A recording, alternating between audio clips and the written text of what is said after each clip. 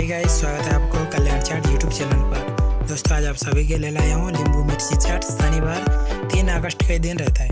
नींबू मिर्ची चाट केवल शनिवार के आता है, बाकी दिन नहीं आता है दोस्तों।